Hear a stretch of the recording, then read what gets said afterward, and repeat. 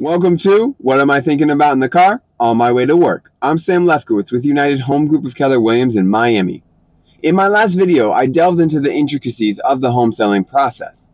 When it comes to selling your home, the journey begins long before the for sale sign hits the front yard.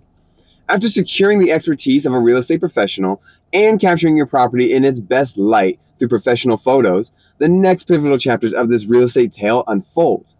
Staging your home or ensuring it's clutter free is essential.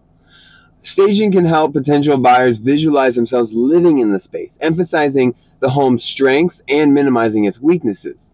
This may involve rearranging furniture, adding decorative elements, and decluttering. Simultaneously, your agent will list your property on the multiple listing service, MLS, and other online platforms, making it accessible to a wide pool of prospective buyers and other real estate agents so that everyone sees your property. The combination of a well presented home and effective online marketing sets the stage for a successful sale, increasing your chances of attracting interested buyers in today's competitive real estate market. This has been another episode of What Am I Thinking About in the Car? On my way to work. I'm Sam Lefkowitz with United Home Group of Keller Williams in Miami, Florida. Stay tuned for part three on how to sell your home.